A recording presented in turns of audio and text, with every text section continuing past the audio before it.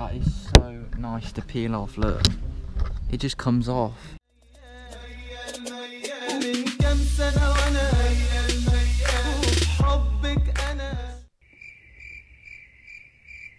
I'm back, bitches! Oh, what are you saying? I bet you guys miss me. You miss me? Oh, I bet you. I know it. I haven't uploaded in about 12 days or something.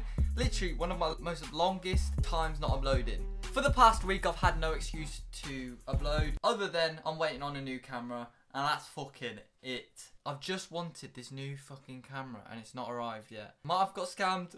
I don't know. Anyway, back to the video, right. Uh, when I got out of work at 10, I actually got a, uh, a notification from Yodel saying that my parcel was on the way today. And then basically when I got home, the doorbell rang and I got a bag. Where'd it go? Oh shit, there it is.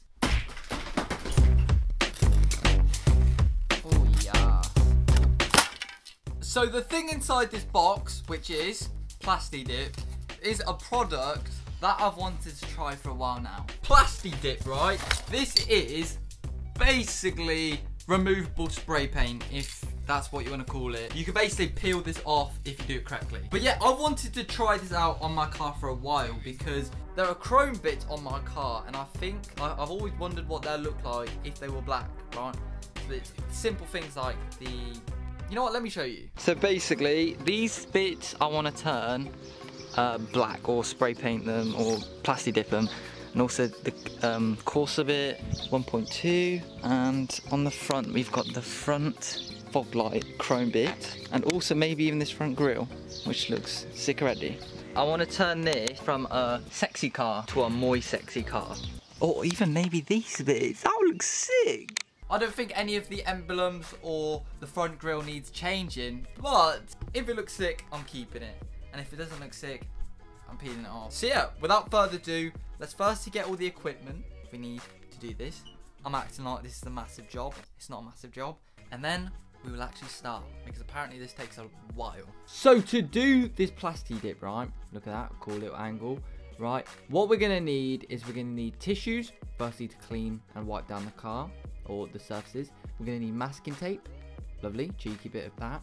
We're also going to need plastic bags and a few of them to cover the bits we don't want to basically clean. So the first thing that I want to do, I want to turn my car the other way around and basically work on the front first.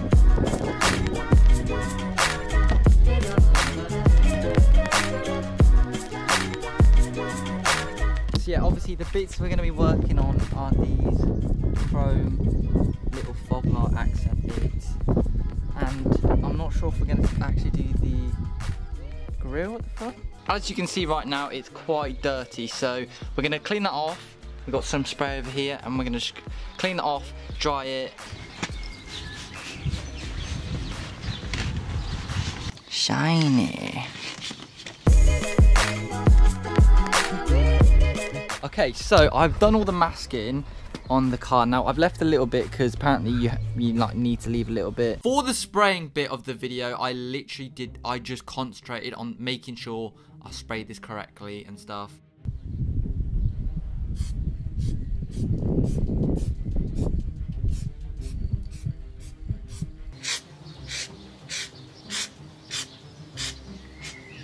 After each coat, I had to leave it for 10 minutes. Or I think I left it for 15 minutes, but then I just got so bloody bored of waiting. Like, just look at me.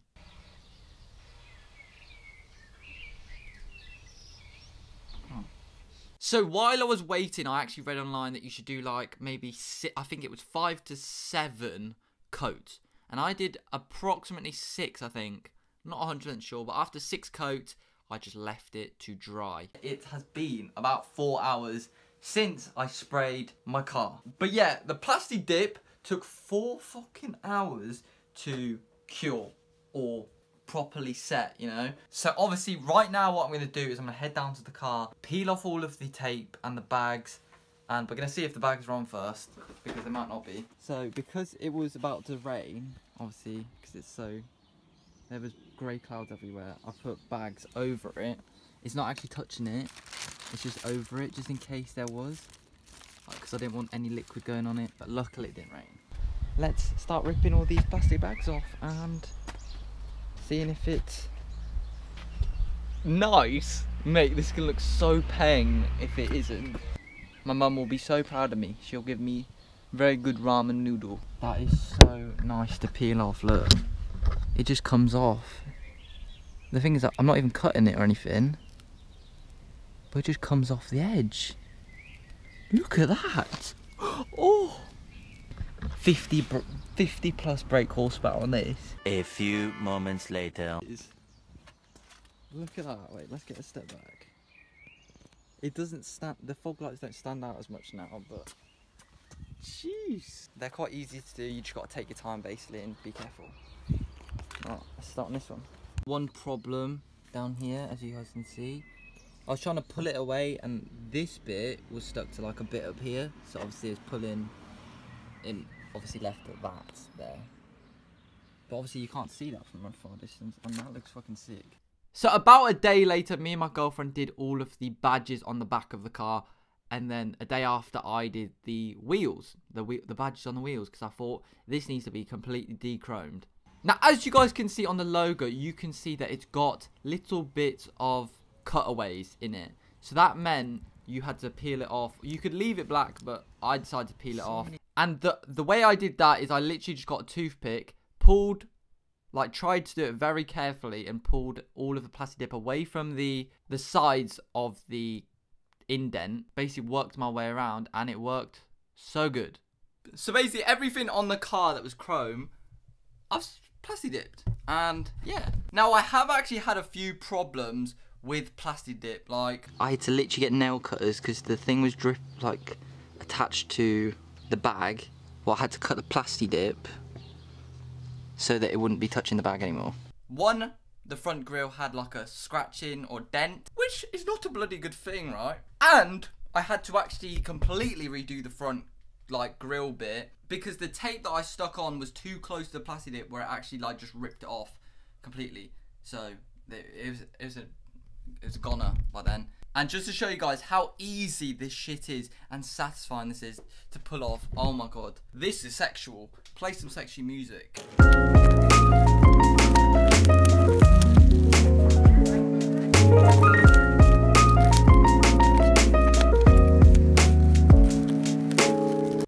You guys gotta let me know what do you like better. Do you like it chromed or do you like it black?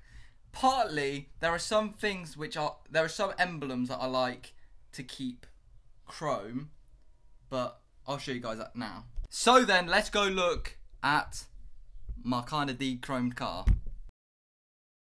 Anything you need, a provider. Bad B and designer. I took a couple L. Alright, so here is the car. And look, as you guys can see, these were all chrome. And now they are all black. This emblem right here, or these three, I actually like it chrome because there's like brown bits around the lettering, which makes it look so ugly. Next thing I chromed out is the fog lights, as you guys can see, and then you got the front grille. And lastly, what I chromed is the actual badge on the wheels. I think the wheels look so sick when they're chrome, without the chrome bits as well. So that is me plastic dipping my car. I've actually used up the whole thing. The whole thing is fucking gone from all of that. So yeah, thank you guys so much for watching. Hopefully you guys did enjoy. If you have got to the end of this video, comment friends. And I'll subscribe to the first two people who do that. That is a wrap from me with my D-Chrome Corsa. Here's a little overview. We'll get back. There you go. Anyway, guys, I will see you in my next video. What?